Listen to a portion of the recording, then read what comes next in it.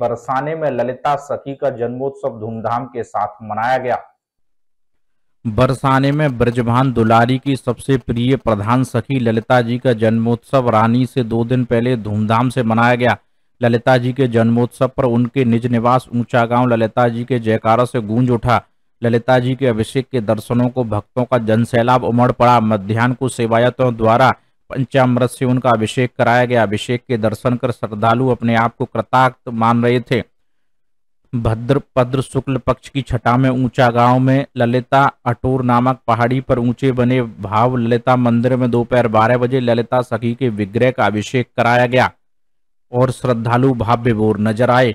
DD Sharma, Mathura, समाचार 24 कहाँ से आए आप? हम भी कानपुर से आए मेरे चाचा हैं। तो आज राधा रानी की का जो जन्मोत्सव मनाया जा रहा है पूरा गाँव में इसको लेकर क्या कुछ नहीं किस तरीके का भाव रखते उसकी तरह जैसे आप देख ही सकते हैं यहाँ पे कितना हर्ष और उल्लास है जितने भी भक्त हैं सभी खुशी से झूम रहे हैं। क्योंकि ये जो है हमारे लिए बहुत ही बड़ा त्योहार है। जैसे होली दिवाली होती है वैसे जो कृष्णमयी भक्त है हम लोगों के लिए बहुत बड़ा उत्सव है। हम लोग इसके लिए सोचिए जून से रिजर्वेशन कराते हैं आने के लिए। कि बस किसी तरह आ जाए श्री जी की कृपा रहती है तो हम लोगों को बुलाती है। और हम लोग किस तरह से उत्सव मनाते हैं यहाँ पे बधाई लूटते हैं बांटते हैं और बहुत ही आनंद रहता है।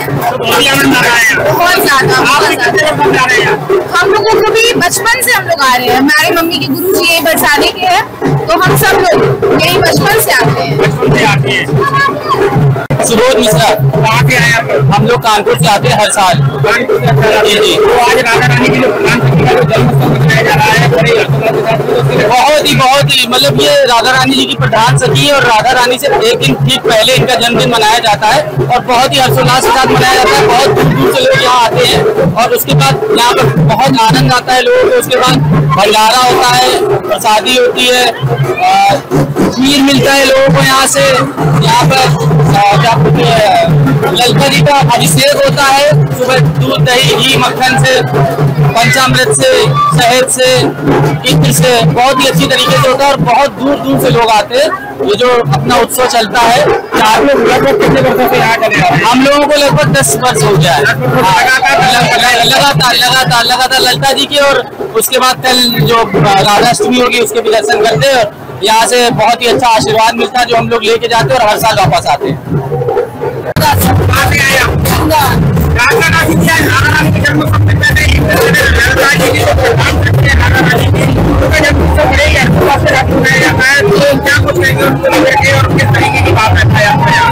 देखिए, जो हमारी ललिता जी है, वो प्रधान सखी है और उनका जन्मोत्सव हमारी श्री से पहले आता है और वो धूमधाम से मनाया जाता है। सखी है। हमारे पीड़ित की प्यारी सखी है। इसलिए और कुछ नहीं वो उत्सव बनाइए राधे राधे गाइए। रहे हैं हो गए दस बारह साल? है है देखिए भाव तो अभी भी वही है, लेकिन भीड़ भाड़ ज़्यादा हो गया है। है भाव तो वही है भाव तो बदलता नहीं है कभी। भाव तो आज भी वही है।